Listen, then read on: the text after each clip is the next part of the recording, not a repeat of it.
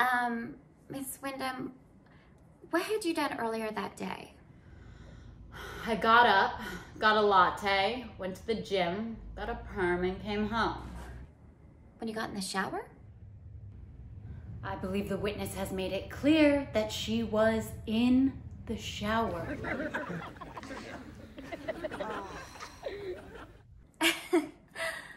yes, Your Honor. Um, Miss Wyndham, had you ever gotten a perm before? Yes. How many would you say?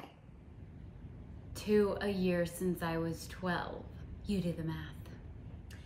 You know, a girl in my sorority, Tracy Marcinko, got a perm once. We all tried to talk her out of it. Curls weren't a good look for her. She didn't have your bone structure. But thankfully, that same day, she entered the Beta Delta Pi wet t-shirt contest where she was completely hosed down from head to toe. Objection! Why is this relevant? I have a point, I promise. Then make it. Yes, Your Honor. Chutney, why is it that Tracy Marcinko's curls were ruined when she got hosed down? Because they got wet? Exactly.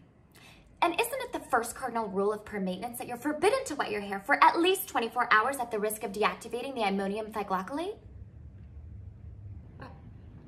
Yes. And wouldn't somebody who's had, say, 30 perms before in their life be well aware of this rule? And if in fact you weren't washing your hair, as I suspect you weren't because your curls are still intact, wouldn't you have heard the gunshot? And if in fact you heard the gunshot, Brooke Wyndham wouldn't have had time to hide the gun before you got downstairs. Which means that you would have had to have found Brooke Wyndham with a gun in her hand to make your story plausible.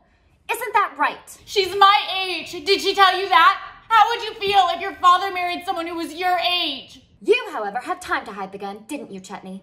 After you shot your father. I didn't mean to shoot him! I thought it was you walking through the door!